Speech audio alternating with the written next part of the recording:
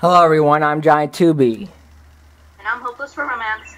And we bring another fine fan fiction of My Lion King 3 Simba's Pride of the Next Generation, Chapter 7 Kiara is Kidnapped and Sacrificed, Part 1. Music by Nick Langsmith. And all art belongs to you. Sorry if I sound like I have a little cold uh, going on in my voice, but uh, uh, yeah, it happens. Okay, here we go. Chapter 7 Kiara Kidnapped and Sacrificed, Part 1.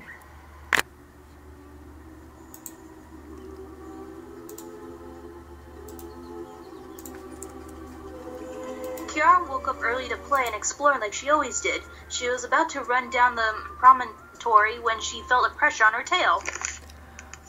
Whoa, where do you think you're going in a hurry? Simba asked his daughter cheerfully as he's grinning down at, grinning down at her.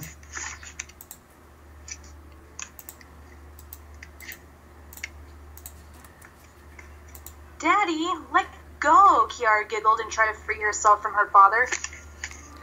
Well, I just want you to be careful. He looked down at his daughter and battered as she batted down a butterfly, obviously playing, paying no attention to her father.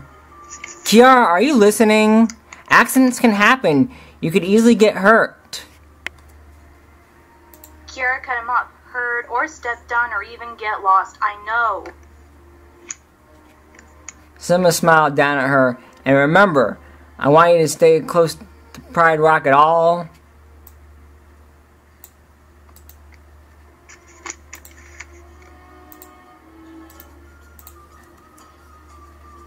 Times, I know, she cut him off again.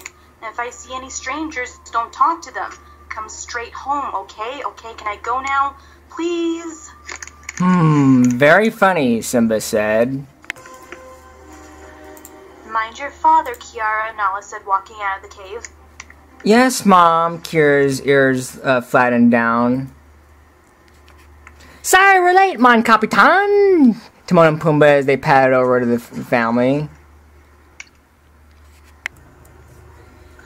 Kiara looked exasperate, exasperatedly up at her parents. Mommy, Daddy, why do I always have to be with Timon and Pumbaa? Why can't I play by myself? Simba and Nala exchanged concerned looks at each other.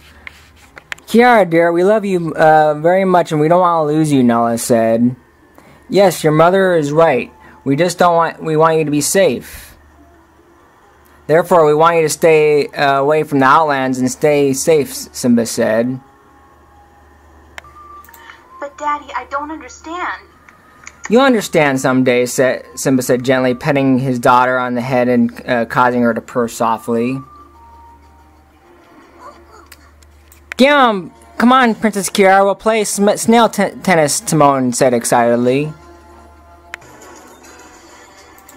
Have fun, Kiara, Nala said, beaming down at her daughter. And stay away on, stay on the path I marked for you, Simba said as Kiara left Pride Rock with Timon and Pumbaa in tow. I don't trust Timon and Pumbaa anymore, Nala said as she turned to her husband. Remember their irresponsibility towards Kopa? She's close to that age. You're right, she's bound to get in trouble. That's, uh, That's right. Did you know that our parents and the adults knew when we snuck out when we were kids? Nala asked.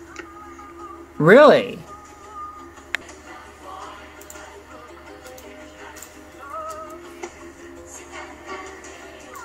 Simba, that's right. So I uh, propose we send one of the birds to watch them, Nala said. Good idea, Sweet Lips. Simba suddenly switched into a very different mood.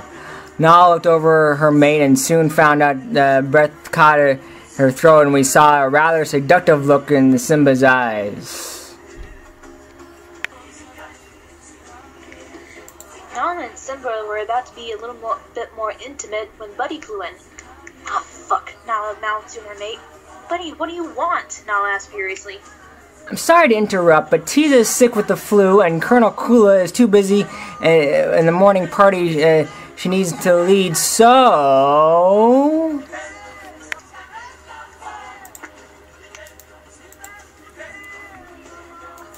Fine, Buddy, that'll do. Nala ground, grounded her teeth in annoyance. Buddy, I have a job for you, Simba said. What's that, Daddy Simba?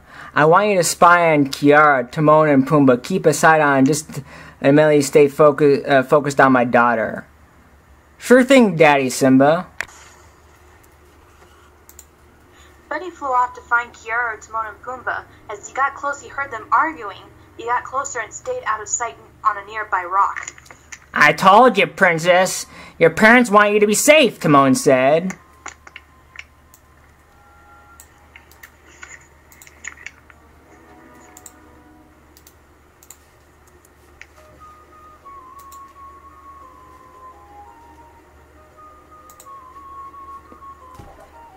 Yes, Kiara, your dad wants you safe, Pumbaa repeated.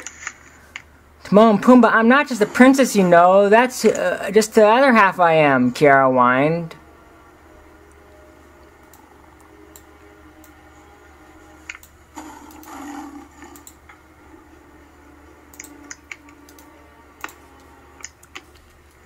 Oh, who's the other half? Pumbaa asked. Kiara struggled to get the answer. Well, while you are figuring, let's eat. Pumbaa lifts up a log and Timon grabs some grubs. Want some? Ew, gross. No. How about you, big boy?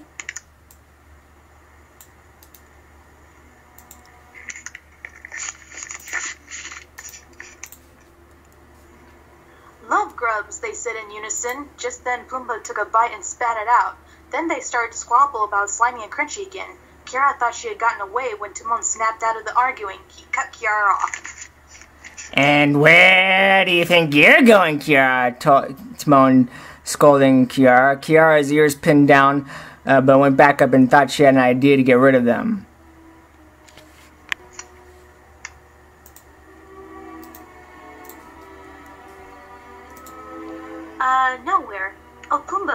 Mommy or daddy? I forgot to ask them something. Yes, Kiara, Pumbaa leaving the two like uh, the name means simpleton.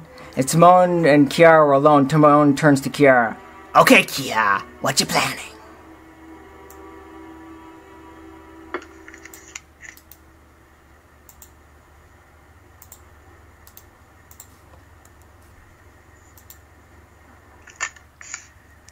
Uh, nothing. Hey, Timon, I think I see your mom approaching. Timon turned his back.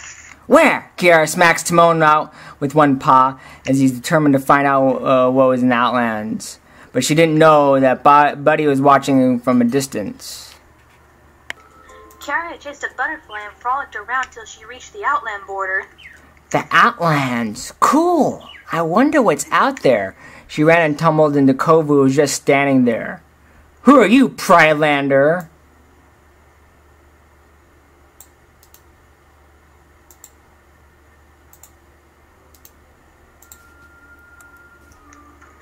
Kiara went into defense mode. What are you doing? My father said never turn your back on an outsider. You always do what your daddy says.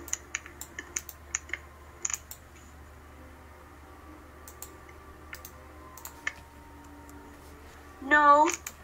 Ha! Bet you do. I bet your daddy's little girl. Just then, Vitani showed up.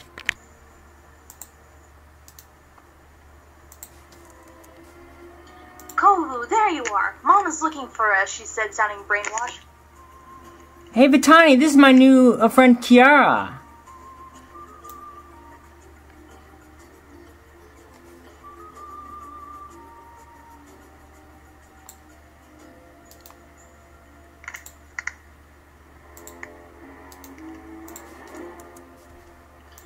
Kiara, I don't know you, but you're now part of this pride, unless Mom has something different for you planned.